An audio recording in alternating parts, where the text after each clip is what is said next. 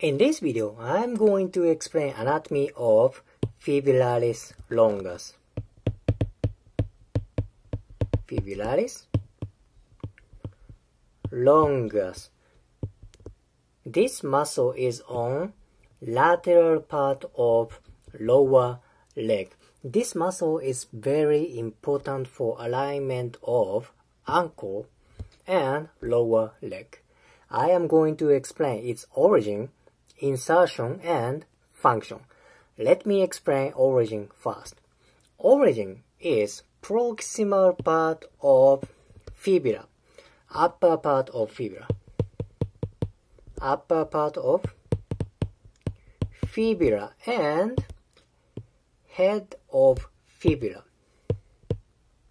Head of fibula. Okay, so this area is origin of fibularis longus. Let's look at its uh, direction. It goes down, it goes down, it goes down, and goes deep. It goes to the sole of foot, and it goes to medial part of foot.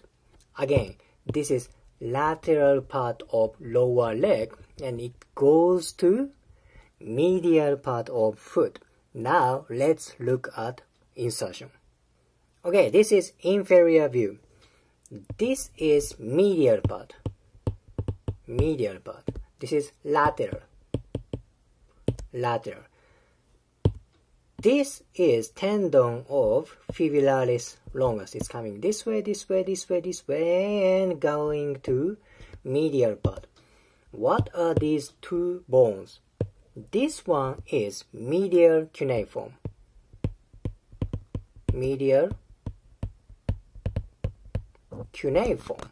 This one is first metatarsal. First metatarsal. First metatarsal. So insertion is two bones, medial cuneiform and first metatarsal. As I said, origin is on lateral part, head of fibula and upper part of fibula it's coming this way, this way, and it goes to medial part of foot. Attaches on two bones, medial cuneiform and first metatarsal. This orientation is very important to understand its function. Let's look at its function. So, when fibularis longus contracts, that brings foot this way right? Because origin is this way, muscle pulls foot this way. What kind of movement is that? That is eversion. Eversion, okay? Going this way. This is eversion. And fibularis longus can do one more thing. That is plantar flexion. Plantar flexion. Plantar flexion is point out toe. So this way. I'm going to change picture so you can look more clear way of plantar flexion. Again, plantar flexion is this way. Point out toe. Okay, do you remember what are two functions of fibularis longus? Eversion and plantar flexion. You can see orientation of fibularis longus. It's from lateral part, lateral part, lateral part, and it goes to medial part. This orientation makes eversion.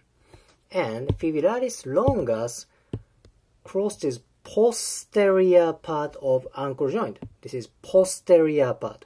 So when muscle pulls joint, it's going this vector. So that makes plantar flexion. But does it make sense? Now I am going to explain important anatomical relationship with other muscle. This is front view. This is fibularis longus and attaches here. Do you remember insertion? Medial cuneiform and first metatarsal. Actually, there is one more muscle which has same attachment. Okay, here, what is it? That is tibialis anterior. Tibialis anterior. Its function is completely opposite from fibularis longus. Tibialis anterior does inversion and dorsiflexion.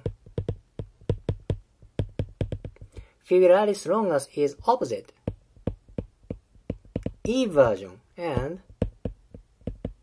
plantar uh, flexion. So these two muscles are kind of antagonist. Antagonist is a completely opposite functional muscle like fibularis longus and tibialis anterior.